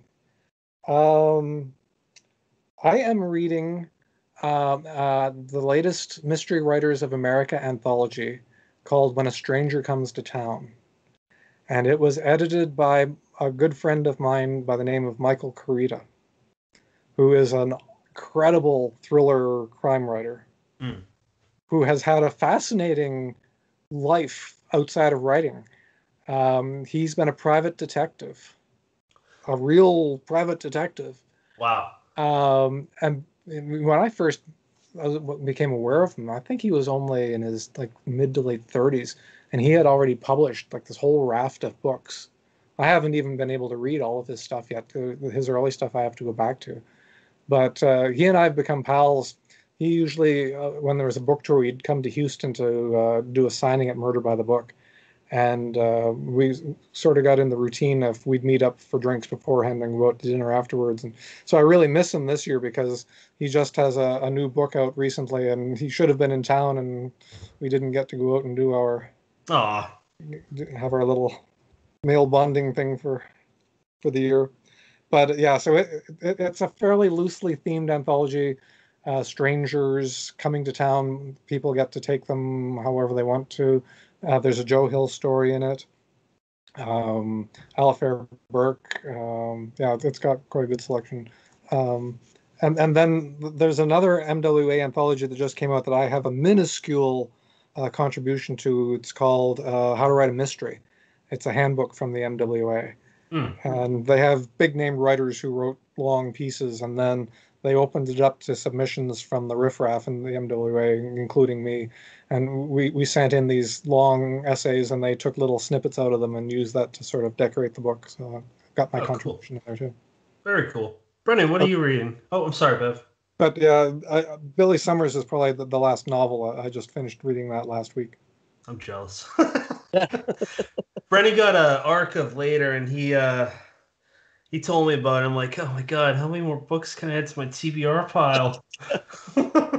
I tell you, the, the, the thing that really got me with later was I didn't realize that there was a fairly hefty excerpt from um, what's the the other hard case crime book? At, at the back of jo- this book. Joyland? Joyland. So there's a, like a 16 or 20 page excerpt at the back. And so i'm reading along and thinking man i've got like 30 40 pages left and then all of a sudden you turn the page and oh i'm at the end. It was a real surprise ending because i didn't expect it to happen that fast. Gotta be more. Um, i am currently reading i think this comes out uh, sometime well actually let's see it's may 6th right now. I believe this comes out in about a week from now um, called the crucifixion experiments from uh, Gord Rollo. Oh, Gord. Yeah, that's cool. Reissue. I believe it originally came out from Dark Regions Press. Silver Shamrock's putting it out. And, you know, I'm, I'm going to so, show that cover for uh, video watchers again uh, because, the, you know, it's funny. We were talking about earlier how uh, my, my wife does not want to read anything. I was actually talking to somebody on the phone last night about a story I'd written, and I talked about gouging eyes out, and she yells from the other room, like what are you what are you like what are you talking about? But this one it doesn't have any supernatural elements to it. Uh you know i see her side eyeing the cover and i said this is absolutely a podcast you would listen to and a book you would read as long as it w- it actually happened to somebody which is objectively more horrifying than yeah. you know reading the fiction but it's it's it's really good. It's I actually just finished it before we uh, got on. It's got that kind of hard boiled detective with, you know, riddled with flaws, trying to solve this case coming off of a suspension because you know he threw down his badge and his gun and the captain uh, you know suspended him. So you know it, it's kind of it it it it um, kind of follows those tropes, but uh, it's got a really great voice. He does it in in first person, and it's one of those you just keep turning the the pages. The chapters are short, and you can't put it down between. You need to figure out what happens next. Well, I haven't seen Gordon in a long time. I used to run into him at uh, World Horror conventions back when I first started going to those. Mm, very cool. Yeah, well, he's got this one. He's got another one being reissued by Silver Shamrock in uh, later in the fall and then he's got a series of new uh, shorter works coming out with them over the next couple of years as well. So making that comeback. Okay, so my turn. Uh, I'm reading. I'm still reading *Malignant Summer*. It is a big book by Tim Meyer. Uh, it's just a coming of age story uh, based in the '90s and uh, based in Jersey. I haven't read a whole lot of stuff based in uh, the state, but um, it, it's just fun. It, it's it's a fun coming of age story with uh, when he hits the supernatural and horror aspects, it he goes hardcore with it. and the other one is by Hailey Piper. She's you know man, um, I don't know if you've read her yet, but she does cosmic horror in such a great way, and uh, it's her first collection called "Unfortunate Elements of My Anatomy." Um, it's it's got a lot of i just I, I feel like i'm not doing very good with my uh, descriptions but there's a lot of powerful stories in there. And uh, they're just fun. They're uh, it's a collection so i don't i can't really describe the stories because they're not long enough where i'd be able to like not spoil it but it, it, it's a good it's a good collection. I'm, lo- I'm loving it so far. And uh, that's about it for me. Um, let's go to where can people follow you? As long as they're not following me around the neighborhood. they're yeah. So bevvincent.com. Um, I also have a message board there. Um, so I'm on Twitter at bevvincent. Uh, I'm on Facebook and I'm on Instagram. And I've joined Clubhouse, but I really haven't figured it out all that much yet. Same here. Um, those are the main ones. Uh, Twitter is really, if you really want to know me, follow me on Twitter because I don't hold anything back there, uh, including all of my political views. I, I, tend not to be political too much on Facebook. Not really all that active on Facebook, but you know, the whenever you've got something coming out, you got to promote it a little bit. But I'm really active on Twitter, and I'm really outspoken on Twitter. And in fact, the little snippet that I have in the Mystery Writers Handbook is, you know, people tell you that you maybe shouldn't wear your political feelings on your sleeve. It'll offend some people. My Twitter following just blew up, has just taken off in the last year and a half since I've become a Twitter political activist, really. I think I and, know why. uh, yeah, and yeah, so uh, yeah, so it, it's it's actually been uh, quite a positive, uh, and it's not all politics. Um, I, I, I read news voraciously and quite widely, and a lot of topics: scientific news, um, foreign news. Um, since I come from Canada, I, I, I tend to be more interested, I think, in international aspects than people who follow me as a rule. So I, I um, tweet a lot of that stuff out just to highlight things that are going on in, in my home and native land and beyond. Um, yeah, Twitter's Twitter's a big one. Instagram, um, yeah, a little bit, but not too much. You know, I'm I'm not inviting anyone that is uh, opposed to our very outspoken views throughout the show, um, but I'm surprised we haven't actually had any hate mail from basically people that fall Republican Party, man. Uh, me yeah, and Brennan. I, have been lucky too. I mean, I, am not alone in being a vocal. Um, like Michael Marshall Smith, who's a sort of an online. I've met him a couple of times, but mostly I know him online. He's in the same camp, but he seems to attract people who want to get in his face, you know, online. Uh, but I've been fairly fortunate in that I haven't really had that sort of blowback, had to deal with a bunch of haters. Uh, occasionally you get a bot or two, but uh, I, have been pretty lucky. That's good, man. Um, you know, Keene seems to get a lot of hate, and then you got Paul Tremblay who uh, gets nothing but love. Nothing but love. Keene Keene has always been able to uh, stir shit up. But yeah, I've I've known Brian for decades, and uh, yeah, it's uh, it's always fun to see him taking on the latest uh, wannabe challenger. I'm a little scared that I'm I'm like Brian in those ways, and I don't want to be, and I'm not trying to be. But you can ask Brennan; it, it just seems to happen. um, think is the term we throw around. shit magnet. and the funny thing is, is I work at a wastewater treatment plant, so it just makes sense. In Atlantic City. um, you know, if you like what you see of uh, the zombie version of me, for the logo, then you can go to deadheadspace.com. There's a store tab. You can click it and you can potentially buy uh, my ugly mug on a coffee mug or a mask or a few other things. Um, so look, that's another thing. We don't have to worry about a certain type of people buying my products because one of them's a mask. now, I want to hear any final thoughts, noises, anything that we haven't talked about that you want to discuss. Table's yours, sir. Okay. Um, I'm about to turn 60. I'm now a grandfather twice over. Congrats. Yeah, my uh, th- my daughter and her family live in Japan, and they're moving back from Japan this summer. So we're gonna have everybody back after after this COVID nightmare of not being able to see them for so long, except through uh, a little tiny pinhole camera on a computer. Um, I'm always working on essays, um, the occasional interview, uh, book reviews but really my focus other than getting uh, short stories into circulation and maybe writing a few more is my whole goal is to really get some traction with novels. And i've got a few uh, for consideration. One is a i guess you would call it horror. It's a ghost story. Um, but the other ones are straight crime. Hmm. um, i have a bunch of short stories that i've published that feature this guy named benjamin kane um, who's Kane Detective Agency in, in Houston. And I've got some manuscripts uh, of novel length things that uh, explore his world in greater depth. And one of my goals would really be to sort of get to the point where I could do a book like that every year or so.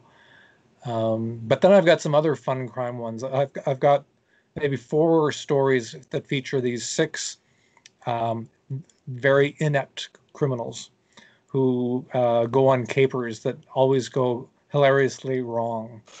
um, in one of them, they try to steal maple syrup uh, because they've heard how much the price of maple syrup has gone, and of course, it's called sticky business because it doesn't end well.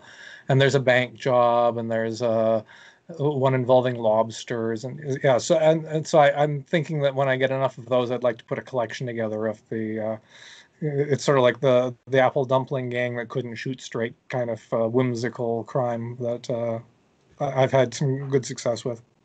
Consider the show whenever those come about, man, because we're we like we like talking and reading crime as well.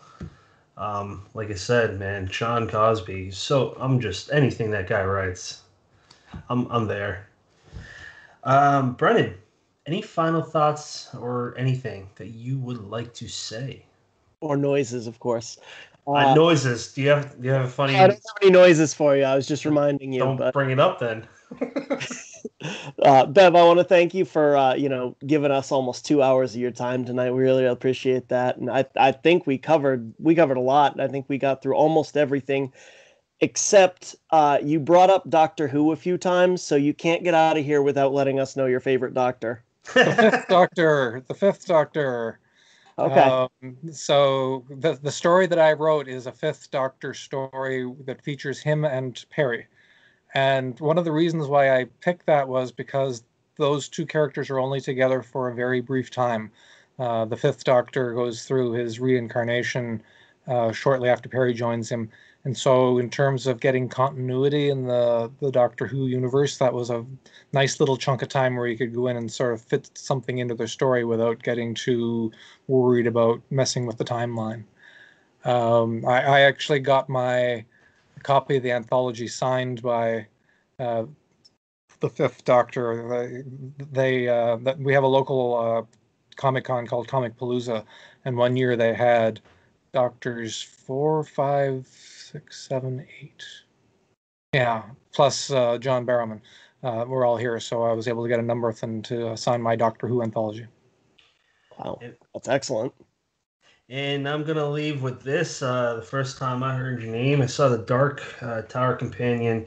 and uh, we got this chain of stores. I think it's just New Jersey, but I could be wrong. Called Ollie's, and they have these brand new books, are beautiful books for like three, four, five, whatever bucks and I go a little crazy sometimes to the point now where uh, I got a whole tote full of King books, and my wife's like, "Pat, the house is so big. Okay, so uh, I had to I had to pump the brakes a little bit. But long story short, I found your uh, book there, and ever since then, you've been on my radar. So it means a lot to me that you are on the show, and like Brent said, for uh, two hours of of your time. So for that, I say thank you, sir. My pleasure indeed. pleasure indeed. And um, next episode is with Hailey Piper. And just a reminder, audio listeners, I'm holding it up again. We've got a beautiful hardcover of Flight or Fright, edited by Stephen King and Bev Vincent, gracious, graciously given to us by Richard Chizmar. So thank you for uh, joining us today, Bev. Brennan, as always, thank you for being my co host. And listeners, you have many choices in podcasts. Thank you for choosing us.